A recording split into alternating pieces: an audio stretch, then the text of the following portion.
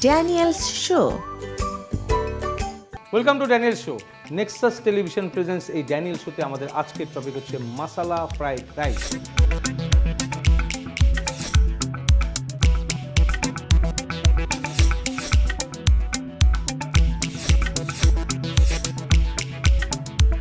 আমরা এখনই আমাদের মেসান প্লেসটি তৈরি করে ফেলব। মেসান প্লেস তৈরি করার জন্য আমরা প্রথমেই নিয়ে নিব হচ্ছে একটা মেসান প্লেস ট্রে এবং এই মেসান প্লেসে আমরা প্রত্যেকটা জিনিসকে আপনাদেরকে দেখিয়ে দেবো কোনটা কত গ্রাম কীভাবে অ্যাড করছেন। আমরা one is to one single যেটাকে আমরা বলি আলা কার্ট প্রেজেন্টেশন সেভাবে আমরা রাইসটিকে তৈরি করব। সো আমরা নিয়ে নিব হচ্ছে ক্যাপসিকাম রেড ক্যাপসিকাম ওটাকে জুলিয়ান করে কাটবো প্রথমে। নাইসলি জুলিয়ান বিভিন্ন টাইপের কাট ভেজিটেবলসগুলোকে আমরা এই রাইসের সাথে অ্যাড করব। এবং এরপরে আমরা নিয়ে নিব হচ্ছে ইয়েলো ক্যাপসিকাম সাবধানে এবং প্রত্যেকটি মাপ যেন একরকম হয়, সেই জিনিসটাকে খেয়াল রাখতে হবে। তখনই আপনার ফুডটা খুব সুন্দর লাগবে। এরপর আমরা নিয়ে নিব হচ্ছে বকচয় বিয়ে জুলিয়ান কাট নাইসলি জুলিয়ান এটা রাইসের সাথে দেখতে খুবই চমৎকার লাগবে।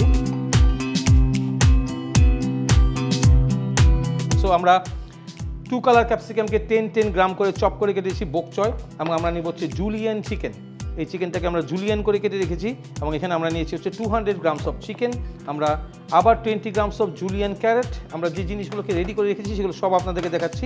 স্প্রিং অনিয়ন স্প্রিং অনিয়ন হচ্ছে পেঁয়াজের যে পাতা, সেটাকে ছোটো ছোটো করে কেটে রাখা হয়েছে এবং এটা সবার লাস্টে দিতে হয় বিকজ গ্রিন কালারকে সুন্দর রাখার জন্য লো টেম্পারে শুধু মিক্সিং প্রসিডিউর এবং রাইস যে রাইসটা আমরা বানাবো, সেই রাইসটা হচ্ছে চিনি গুঁড়া রাইস এবং এটা নাইনটি পার্সেন্ট পর্যন্ত বয়েল করা হয়। আমরা এখন আমাদের প্যানটাকে হিট দিব এবং এই হিটটা আমরা খুব স্লো রাখব যেন প্যানটা পুরোপুরি হিট হয়। আমরা প্যানটাকে গ্লেস করে নিব আগে এবং প্রেশার বার্নার যেটা, যেটাকে প্রেশার দিয়ে আগুনটাকে উঠাবে which is call blue fire সেই ফায়ারে আমরা এটাকে রান্না করব। আমাদের প্যানটা প্রপারলি হিট এবং আমরা এখন দিয়ে দিব হচ্ছে অয়েল এবং অয়েল দেওয়ার সময় সবসময় কর্নার থেকে অয়েলটাকে ছাড়তে হবে যেন পুরো প্যানটাকে প্রপারলি গ্লেসি করে তোলে এবং আপনার রাইসটা কোনো অংশেই লেগে না যায় এবং এই অয়েলের ভিতরে গ্লেসটাকে বাড়ানোর জন্য আমরা নিয়ে নেব ওয়ান টিস্পুন অফ বাটার এবং বাটার নিয়ে আমরা প্যানটাকে রেস্টে রাখব আগুন থেকে একটু দূরে যেন বাটারটা পুড়ে না যায় এবং প্রপারলি এই বাটারটা মেল্টেড হয়ে যায়। আমরা এগটাকে ছেড়ে দিব এবং নাইসলি আমরা এটাকে ফ্রাই করব। মনে রাখতে হবে, এগ যখনই ভেজিটেবলের সংস্পর্শে আসবে, কখনই সেটাকে প্রপারলি কুক করা যাবে না। So you have to fry this egg very very nicely সুন্দর করে এগটাকে ফ্রাই করে নিতে হবে। সবার আগে আমরা এগ ফ্রাই করব বিকজ একটা ফ্রাই হওয়ার সাথে সাথে আমরা এটাকে ভাঙতে পারব এবং এটাকে আমরা সাইড করে রাখতে পারব। Then the second one is chicken this chicken we have to give এই দুটো যখন পুরোপুরি ফ্রাই হয়ে যাবে then we can go for our spices আমরা স্পাইসেসটাকে মিক্স করব because we are using all roasted spices with us তো আমরা টস করে নিচ্ছি নাইসলি ওকের ভিতরে কুকিং হতে সময় লাগে, সবচেয়ে কম। তো আপনাকে কন্টিনিউয়াসলি আপনার মুভমেন্টের মধ্যে রাখতে হবে আপনার কুকিং এবং হিটটাকে এখন আমি বাড়িয়ে দিব। এবং in the middle I am going to give some more oil just ten M L of oil to fry your garlic chop garlic just one teaspoon of chop garlic এবং নাইসলি এটা এটা side দিয়ে এটা cook হতে থাকবে এবং গার্লিকটা fry হতে থাকবে। এবং এর সাথে আমরা দিয়ে দিব হচ্ছে one by one carrot on the side chopped onion on the side and curry masala এই সমস্ত কিছু মিলিয়ে আমরা কারি মশালাটা এর ভিতরে দিয়ে দিলাম which is masala now you have to mix it again very very nicely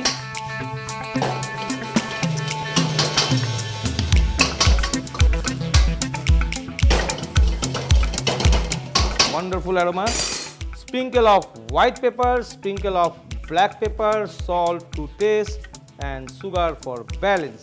আমরা এখন দিয়ে দিব হচ্ছে আমাদের রেস্ট অফ দ্য স্পাইসেস যেটা আমরা কালারফুল ভেজিটেবলসগুলোকে কেটে রেখেছিলাম টোয়েন্টি টোয়েন্টি গ্রাম এবং এর সাথে আমরা একসাথে ইন্ট্রোডিউস করব হচ্ছে আবার রাইস যেটা আমাদের কুক রাইস এবং এটা হচ্ছে একদম ঝরঝরে rice mix it very very nicely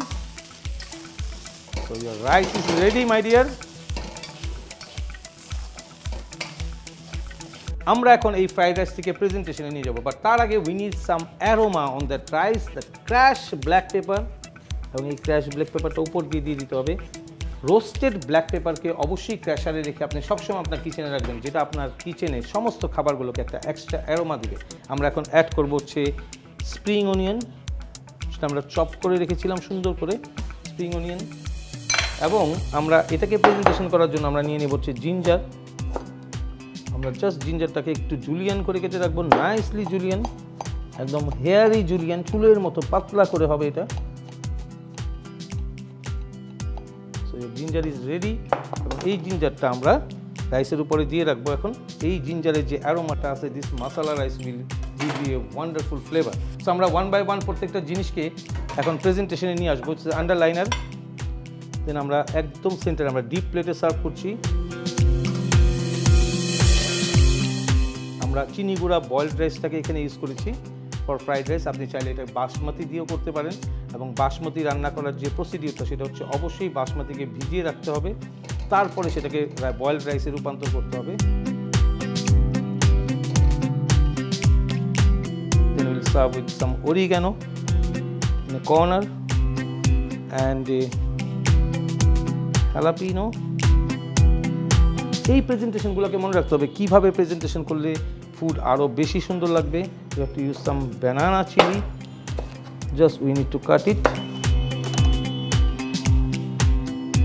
yellow and here is something missing which is call red so আমরা একটা diamond cut R triangular cut you are taking one piece of capsicum and you have to roast it down তো সবাই ভালো থাকবেন। সুস্থ থাকবেন safe থাকবেন এবং নেক্সাস টেলিভিশনের সঙ্গেই থাকবেন।